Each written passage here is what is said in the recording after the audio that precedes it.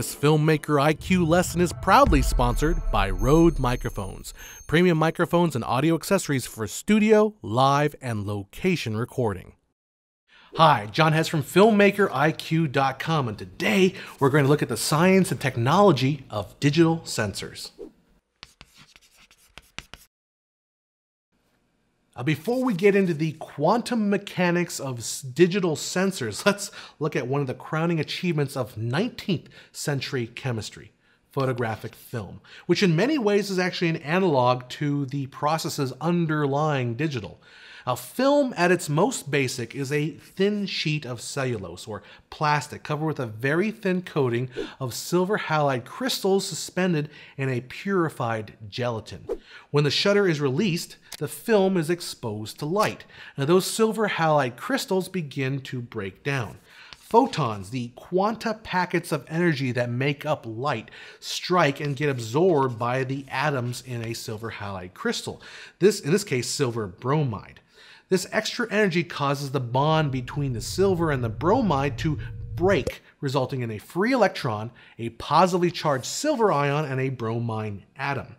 This free electron migrates in the crystal toward the portion of the crystal called the sensitivity speck a shallow electron trap that is either a deformity or a piece of silver sulfide or gold added to the crystal in the manufacturing process.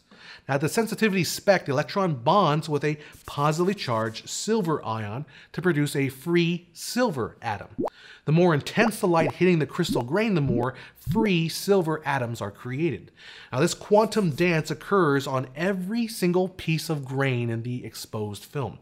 But after the initial exposure, the silver atoms on the grains are still far too small to see. Now, this latent image needs to be developed. Amazingly, you only need four silver atoms arranged on the molecule in the crystal to make a crystal developable. Using further baths and chemical processes, the tiny invisible silver specks are amplified, often billions of times, creating a negative image that we can reverse and create a positive print. As silver halide is the key chemical that makes film possible, silicon is what makes digital possible. A silicon is a semiconductor, meaning it doesn't conduct electricity as well as a metal, but it conducts better than insulators. This is because silicon has four electrons in its outer or valence shell. This causes silicon to create tetrahedral crystals with other silicon atoms, where each atom is satisfied with eight electrons in its outer shell. Since the outer shell is now full, there are only a few free electrons floating in the crystal lattice. It can conduct a little bit of electricity, but not too easily. But if we inject a small amount of a different element, we can create different kinds of conductivity in the silicon crystal, a process called doping. Add a small amount of phosphorus, which has five electrons in its valence shell, and we create an N-type semiconductor. Phosphorus fits in the tetrahedral crystal, but it has one extra electron. Contrarily, if we add an element that with only three electrons in its outer shell, say boron, we create a p-type semiconductor. The missing electron creates what's called a hole, a space that attracts a free electron.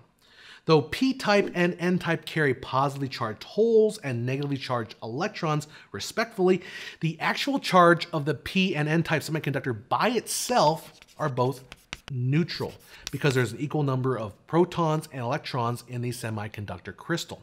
Now, when we put a p-type and an n-type semiconductor together, we create one of the most basic but most important electronic components, a PN junction diode. A diode is simply a device which allows current to flow in one direction but not the other.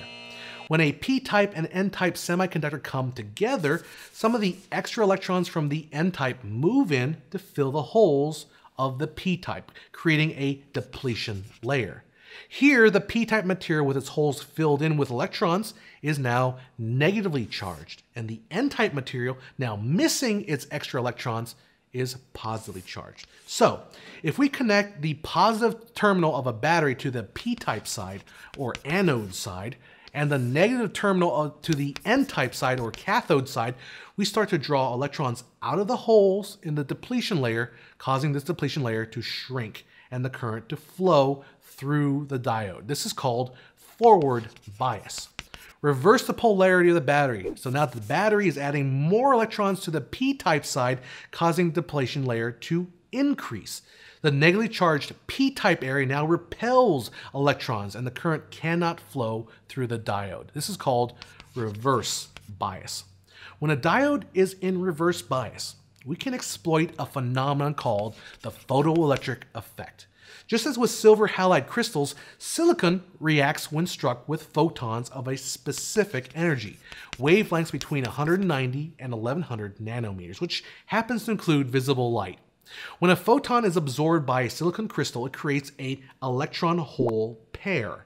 The electron will move toward the positively charged n-type side of the diode. From here, we can measure the intensity of the light by measuring the number of electrons, or the voltage.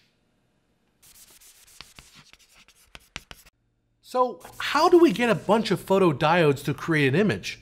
Well, the most intuitive way is to wire them up in a grid, an XY grid, one photodiode per pixel, then read out the voltage column by column. Well, that's just what RCA tried, but every time the voltage passes a pixel, it picks up a little bit of extra voltage, a problem called capacitive coupling, resulting in a lot of noise and striation in the image. A solution to the problem would be to get rid of the wires entirely in a breakthrough process developed at AT&T Bell Labs by Willard Boyle and George E. Smith in 1969. The Charged Coupled Device, or CCD, uses no wires. Instead, it uses a single piece of silicon, a large photoelectric diode divided with insulating channel stops. The slab is then coated with a very thin layer of silicon oxide, and tiny strips of charged aluminum are laid perpendicular to the channel stops. So each pixel of the sensor is bound on the sides with a channel stop, with three aluminum strips running top, middle, and bottom. And here's what happens. Electronic shutter on the camera opens, letting light onto the sensor. The photoelectric effect creates electrons that migrate to the top of the silicon slab, where they're now confined by the channel stops and the charged aluminum strips. The shutter closes, and the sensor holds the charge from the exposure. Now that charge is shifted row by row by alternating the current along those thin aluminum strips and sent off onto a serial shift register, which is then set out to a capacitor connected to an amplifier and recorded onto the camera's memory. Once the entire charge is moved off, the sensor is ready for the next exposure. This ingenious bucket brigade system of moving pixels produced clean and relatively noise-free video signal. But with every piece of engineering, there's always a trade-off. Though the image was noise-free, a tiny amount of charge was lost each time the electrons are shifted. Uh, this would become a problem with higher resolutions that required more and more shifting. Also, the readout of a CCD is slow. The information is read in serial, one pixel at a time, during which the electronic shutter has to be closed. And finally, the process of shuttling those electrons requires quite a bit of voltage. Voltage that would quickly drain a battery, say, of a small device. Still, the CCD came to dominate the video market in the 80s and 90s but an alternative was brewing, and ironically, it would go back to the same XY grid concept that had originally failed because of capacitive coupling.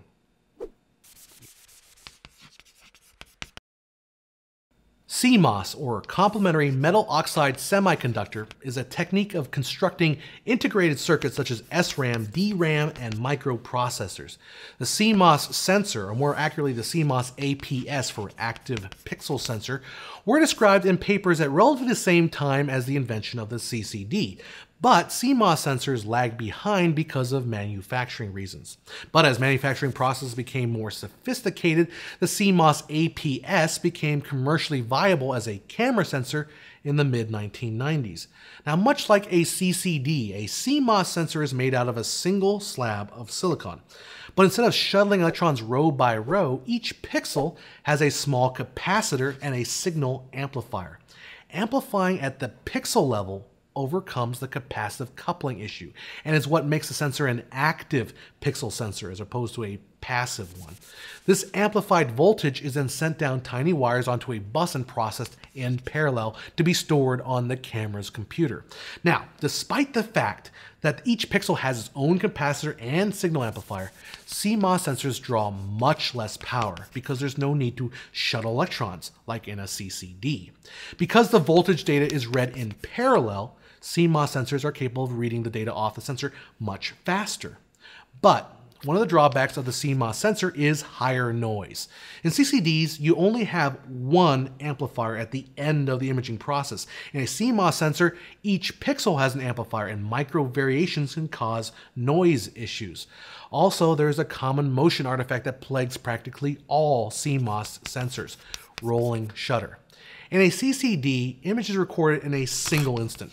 A CMOS sensor records data line by line, so the information collected at the top of the frame is slightly ahead of time from the information collected at the bottom of the frame.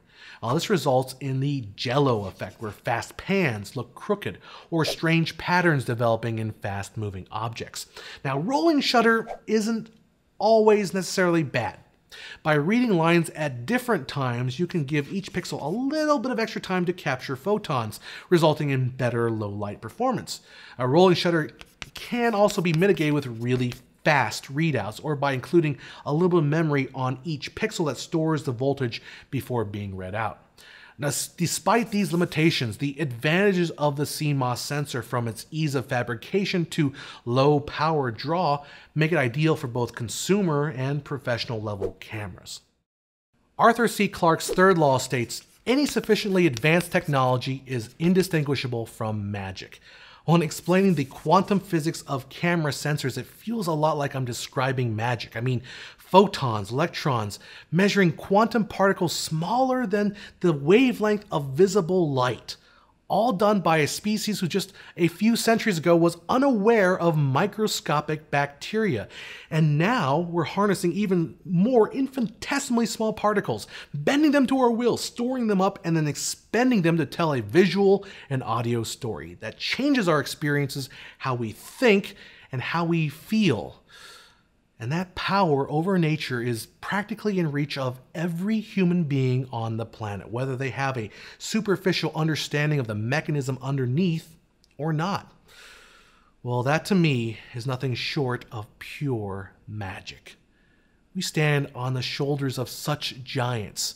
Use this power you have and go out there and make something great. I'm John Hess.